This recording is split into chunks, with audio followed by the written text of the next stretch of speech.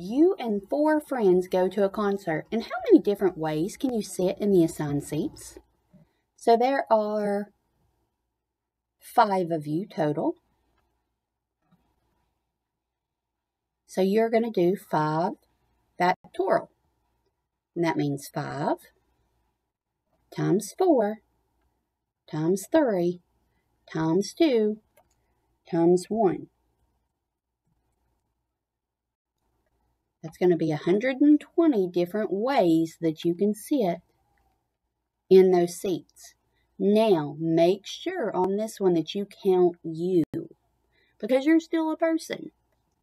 You and four friends. So that means 1 plus 4, and that's what, how we got 5.